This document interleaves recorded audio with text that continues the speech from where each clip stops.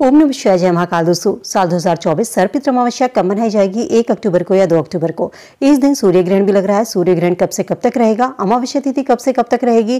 क्या सूर्य ग्रहण के समय पर श्राद्ध करना शुभ रहेगा या नहीं? चले जानते हैं आज की इस वीडियो में।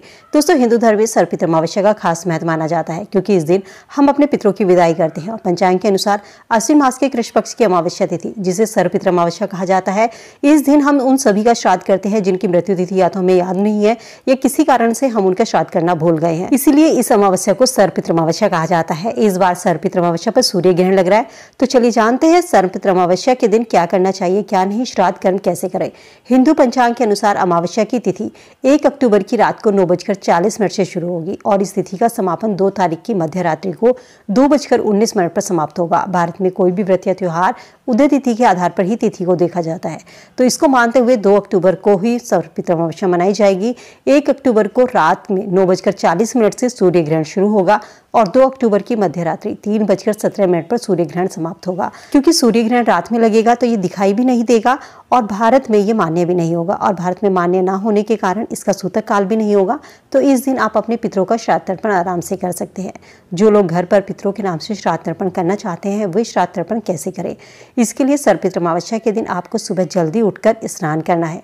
पितरों की तृप्ति के लिए दान और श्राद्ध करने का आपको संकल्प लेना है। ये काम आपको मंदिर के आगे बैठकर करना है। हाथ में गंगा जल लेकर संकल्प लिया जाता है। इसके बाद सूर्य को अर्घ्य देना है। दोपहर के समय सूर्य को जब आप अर्घ्य देते हैं, क्योंकि पितरों के नाम से दोपहर को जल दिया जाता है और ये जल जो होता है, दक्षिण दिशा की ओर मुख करके दिया जाता है। तांबे के एक लोटे में थोड़े से काले तिल डालकर दक्षिण दिशा की ओर मुख कर कर अपने पितरों का ध्यान करते हुए इस जल को दिया जाता है। दोपहर करीब बारह बजे दक्षिण दिशा की ओर मुख करके पैरों को मोड़ करके घुटनों को ज़मीन पर टिका के बैठे तांबे के लोटे में जौ, तिल चावल, गाय का दूध, सफ़ेद फूल और गंगा जल। ये चीज़ें आपको डालनी है। कुशा यानी कि घास अपने हाथों में लेनी है और जल भरकर अपने अंगूठे के माध्यम से आपको जल इन पर गिराना है, जो आपने सामान रखा हुआ है। इसके बाद आपको ग्यारह बार इस तरीके से करना है। पितरों का ध्यान करना है। पितरों को आपको भोग लगाना है। आपको आ, इस साथ ही साथ जो भी आपने भोजन बनाया है वो ब्राह्मणों को खिलाइए। इसके बाद में कुत्ते को कोवे को चीटी को सभी को अलग अलग से भोजन उनके नाम से गऊ ग्रास जिसे कहा जाता है वो निकाल कर ज़रूर रखें।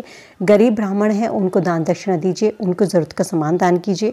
अपने घर पर पंडितों को बुलाकर भोजन करके उनको जो भी चीज़ आप दान देना चाहते हैं उस चीज़ का आप पितरों के नाम से दान तर्पण करें। इस तरीके से आप पितरों के नाम से घर पर ही श्राद्ध तर्पण कर सकते हैं। श्राद्ध तर्पण क्या होता है कि पितरों को हम याद करते हैं उनके नाम से कौवों को चीटियों को सबको भोजन निकालते हैं, चावल के गोले बनाए जाते हैं, जिन पर थोड़े से तेल और सिंदूर वगैरह लगा करके, काले तेल लगा करके इनको गाय को खिला दिया जाता है और ब्राह्मणों को भोजन कराया जाता है, ब्राह्मणों को दक्षिणा दी जाती है। जितना आप पितरों के नाम से दान तर्पण कर सकते हैं, पितरों को प्रसन्न कर सकते हैं, इसी तरीके से श्राद्ध तर्पण किया जाता है। सर्वपित्र अमावस्या इसलिए कहा जाता है, क्योंकि जिनका भी हम श्राद्ध भूल गए हैं, जिनकी हमें मृत्यु तिथि याद नहीं है, उस दिन हम इन सभी का श्राद्ध करते हैं। तो दोस्तों, उम्मीद करती हूँ वीडियो में दी गई जानकारी आप सबके काम आएगी, वीडियो से आप लाभ उठाएँगे। वीडियो अगर पसंद आई तो दोस्तों के साथ में लाइक शेयर ज़रूर कीजिए। ऐसी और वीडियो के लिए चैनल को सब्सक्राइब करना ना भूलें। तो नई वीडियो में नई जानकारी के साथ। स्वस्थ रहिए, खुश रहिए।